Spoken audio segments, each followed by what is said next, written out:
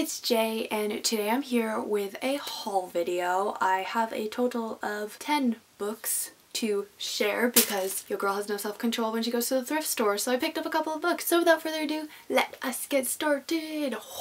The first book I have is called The Dry and it's by Jane Harper and I saw this was super popular when it first came out. It's a thriller. It follows a federal agent who leaves his hometown and then he receives notice that his childhood best friend is dead and his whole family is murdered. He doesn't ever plan on returning back to his hometown but then he receives a note that says Luke lied, you lied, be at the funeral. So it's kind of the story of that and trying to figure out what happened. I haven't seen a lot of people who have actually read the book, but when it first came out, a lot of people were talking about it on Twitter. So I saw it in the thrift store for $2. So I was like, need it. So now I have it. The next book I have I'm actually so excited about because it was one of my most anticipated releases when it first came out. So when I saw it at the thrift store, I was like, need it. That's going to be the theme of this video. Need it. So the book is The Girl Before and this is by J.P. Delaney and it follows two women who are potentially moving into a new apartment for very different reasons but they are given the task to list every possession that they find important to their life and it's like a thriller suspense novel. You know your girl loves her thriller suspense novels. It just sounds really good. The next book I have, Rocky from Blondes with a Book, will be very very proud of me because she loves this book but it is A Study in Charlotte by Brittany Cavallaro and all I really know about it is that it's a retelling of Sherlock Holmes but she loves this book so I saw it and I was like need it so I got it. The next book I'm kind of bummed about because I saw it on the shelf and I thought it was a second book in a series but it turns out that it's the fourth book in the series. But it is The Enchanter Heir by Cinda William Chima and this is the fourth book in the Heir Chronicles.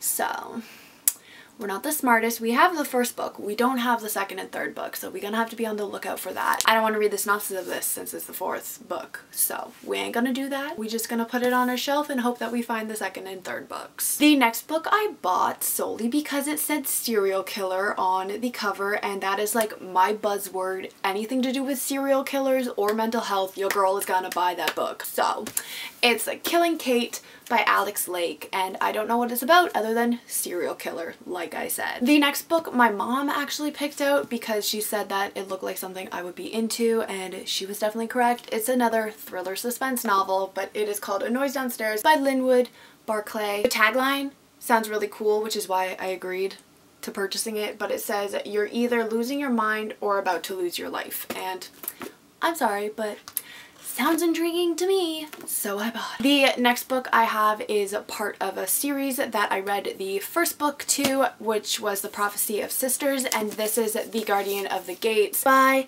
Gabrielle Zink. And I said when I read The Prophecy of Sisters that if I found the second book, I'd read it, but I wasn't going to go out of my way to find it, and it happened to be at the thrift store, so I snatched it up. We got it now. We're gonna read it. I think I gave that book a 3.5, so I mean I enjoyed it. So now we can continue on with the story and see what's going on with the sisters. And this is a like paranormal angel demon kind of thing, but it was enjoyable. So now we're gonna read the second book. The next book I bought because it said on the back, I eat people.